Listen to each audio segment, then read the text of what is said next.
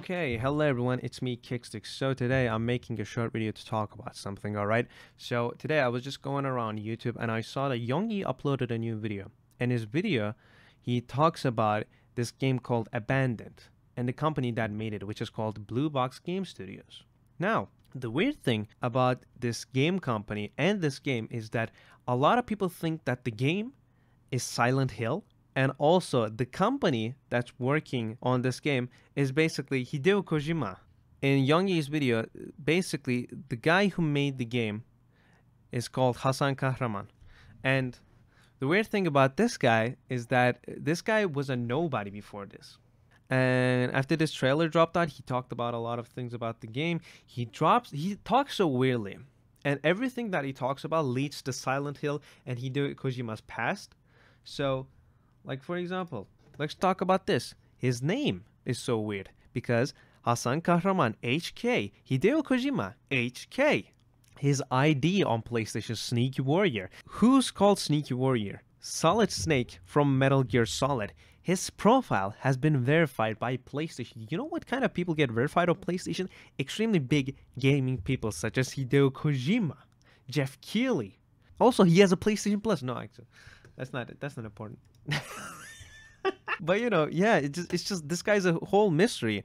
And uh, if I haven't shown it already, this is the game, for example, like from an indie studio that haven't made any significant games before this. Look at this graphics quality. This is gonna come out on PlayStation 5. There are PC games that doesn't look half as good as this shit. Like, look at that tree quality, dude.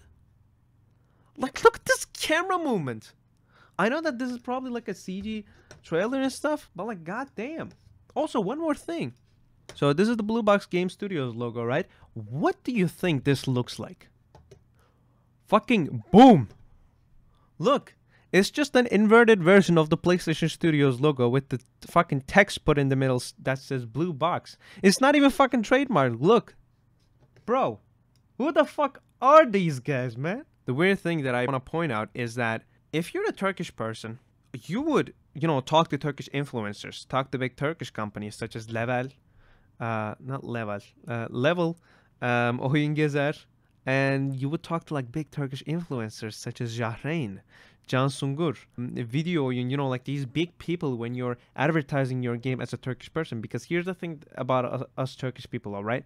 When we're making projects that's like really like global, we want to talk to Turkish people, big Turkish people, because in Turkey, everybody's like family, everybody supports each other. Whenever there's like a newcomer in these like big platforms, they get help from the Turkish audience. The, the only photo that we have of Hasan Kahraman is the one in his PlayStation profile.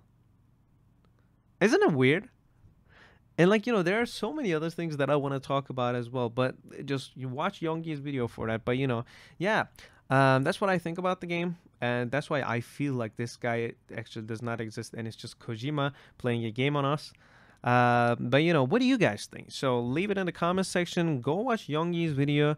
Um, if you want to learn more about it, I'll also leave a link to Abandoned's teaser trailer uh, in the description as well. Yeah, I'm Kixdig, and I'm out.